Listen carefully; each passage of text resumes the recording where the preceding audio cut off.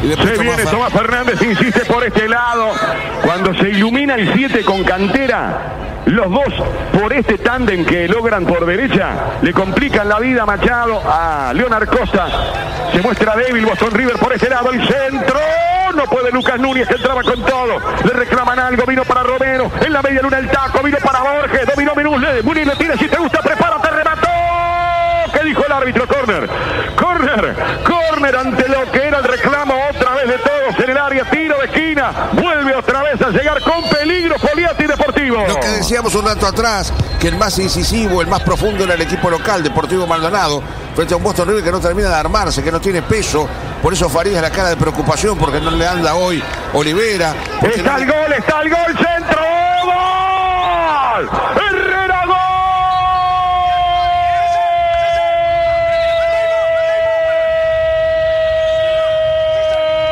gol de Maldonado.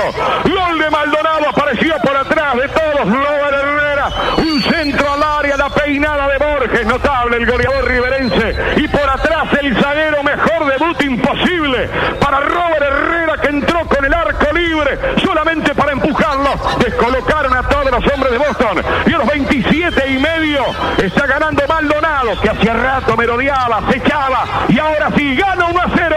¿Qué te parece como presentación para Coito? La presencia de Herrera hoy en el equipo titular. El cabezazo habilitado Herrera por Alialia, este que estaba ahí en el aire, Guayala, yo qué. Bueno, el tiro de jugador Herrera casi arriba del arco. Otra vez Silva muestra debilidades también, ¿eh? El arquero ve pasar la pelota para un lado y para otro. Un Silva que es muy buen atajador de penales, es Borges. El que mete la pelota al otro palo llega Herrera, libre, no hay marca para él. Y bueno, la apertura del marcador. ¿Cómo lo festeja Herrera? Claro que hoy le dio la confianza a Coito. Es un jugador de mucha trayectoria que le puede dar una buena mano a este equipo.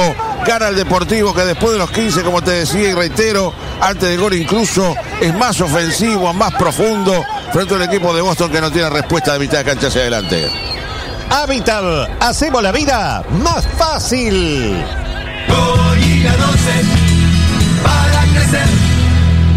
Ataca con ella Sur, Sur que va a jugar otra vez para que venga Emiliano Sosa. Se muestra para tocar con él Torres. Sin embargo, la pelota no pasa por el 27. Viene más atrás otra vez. Busca los espacios Boston River. Quiere entrarle a Deportivo y no puede. Jugando por bajo. Pelota que van a meter sobre el área. Marcó a media. Herrera le quedó para Cunha.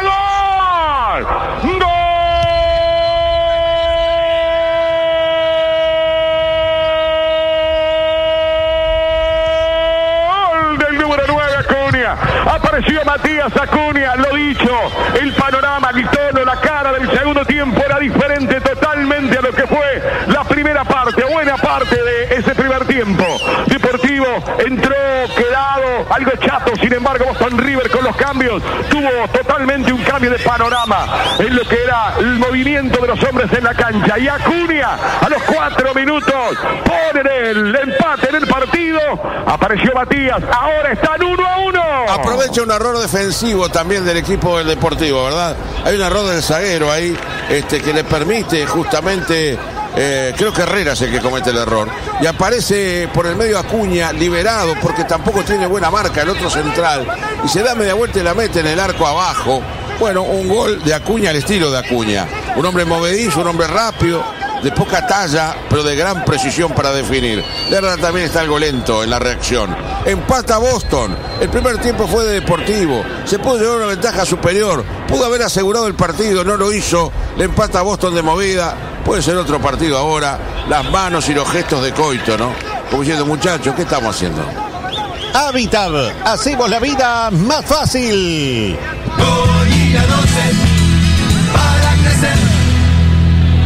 Un rato. Ah, Se vino Rodrigo Muniz, tiene el, el segundo,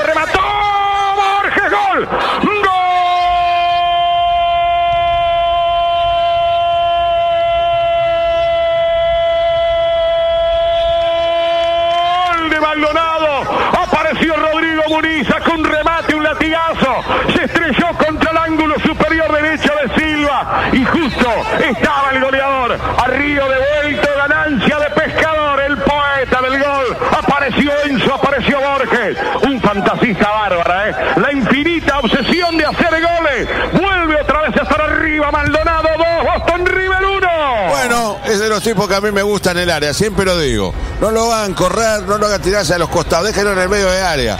Apareció Borges, beneficiado por un rebote. La pelota de su compañero que en horizontal. Queda quieto Silva de vuelta. Qué quietura de Chico Silva esta tarde. Qué raro todo. Borges le da en el pecho y cuando baja la pelota la mete adentro.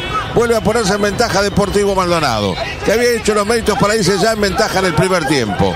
Después, tempraneramente y rápidamente le iguala el partido por una quietud del fondo, por un error defensivo, el equipo de Boston, aunque no le quito ningún mérito a Cuña, que es otro de los que siempre está atento en el área rival. Pero de inmediato reacciona la ofensiva al local y Borges encuentra el gol. Bueno, vuelve a ganar el Deportivo. Veremos qué pasará ahora en el trámite de partido. Boston parece tener otra actitud con las variantes del técnico cuando Coito se aprestaba a hacer algún cambio. Bueno, tal vez esto le dé un bálsamo de tranquilidad. Habitab, hacemos la vida más fácil. Se reanuda el miércoles entonces que Boston River con Huracán en Argentina. El relato de Javier Máximo Goñi en Parque de los Patricios para saber qué es lo que pasa con el futuro del equipo uruguayo. El jueves estará jugando Deportivo Maldonado como visitante en el Castelao, allí ante el equipo de Fortaleza. Fue empate 0 a 0. Los dos vienen de empatar. Boston River y Deportivo jugando como local. Le va a pegar esa pelota el recién ingresado Fernández. Viene Martín Fernández de zurda. Ahí Borges quiso rechazar, pifió. La pelota toma una parábola.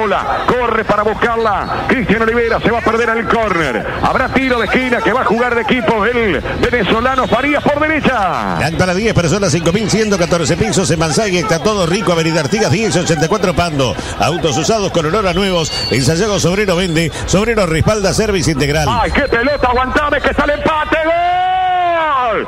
¡Gol!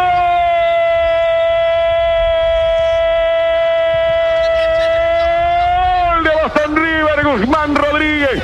Para mí la pelota se ido. Me parece igualmente qué ingenuidad del Maldonado. Coito quedó mirando el piso. La pelota que juegan en un córner, un hombre que aparece solo, habilitado entre dos hombres de Maldonado, después un rebote, salvó de milagro Lerda y después en el rebote Guzmán Rodríguez pone el 2 a 2, el VAR está hablando con Mota, pero por ahora están empatando 2 a 2 Poliati. Sí, para mí la pelota está afuera. Cuando el jugador de Boston River la mete de vuelta en la cancha. Mancebo llega para darle el disparo final y concretar en definitiva el empate. Es Pedro Silva que mete la pelota de vuelta en la cancha. Y después aparece Mancebo para pegarle esa pelota este, hacia el arco y de que está el empate. Parecería estar afuera. Ah, está afuera. Si cuando Pedro Silva la saca, para mí está afuera. Bueno, habrá que ver las líneas del bar, la fineza en toda esa precisión que se hace para definir las cosas. Protesta Deportivo Maldonado. De todas maneras, de todas maneras, el error, el gol que le hacen a Deportivo Maldonado es un error gravísimo. Eso lo tiene que hablar Coito y hablar. Y hablar extensamente. En un partido donde le hacen un gol increíble de esta manera, cuando por encima del gol del descuento, que había empatado transitoriamente Boston, era más profundo el equipo del Deportivo. Estuvo a punto de marcar. Llega este gol que es increíble cómo se lo anotan. El descuido que se produce. Cómo nadie se dio cuenta de lo que pasaba en el área.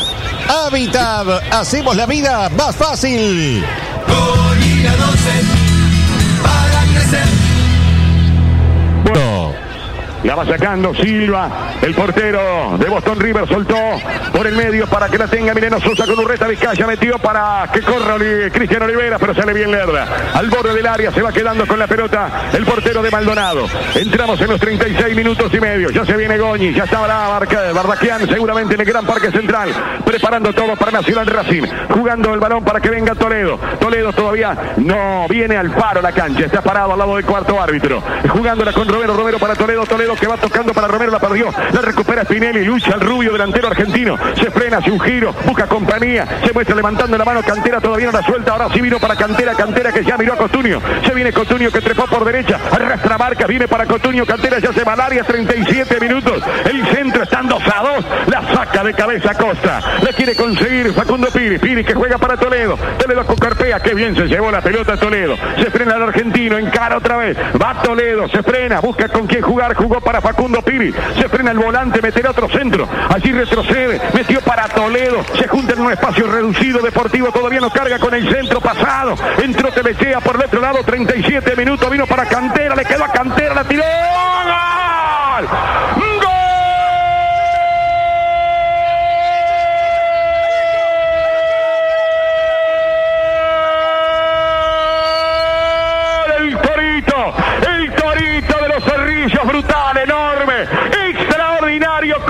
acarició la pelota, qué por favor, la estética absoluta de los fundamentos en el fútbol. Después que Deportivo la tuvo con Toledo, con Piris durante buena parte. Allí dominaban por izquierda, Boston River lo esperaba, algo pasivo. Vino la pelota al área y Cantera, como en forma displicente, como jugando al gato y al ratón. Apareció otra vez Cantera. 37 minutos, Deportivo 3, Boston River 2. Tiene calidad, ¿verdad? Aparece también de vez en cuando en el partido, pero cuando aparece, fíjate cómo la mete acá, por arriba de todos. A pesar de que vuela el arquero y no puede. Un golazo de cantera.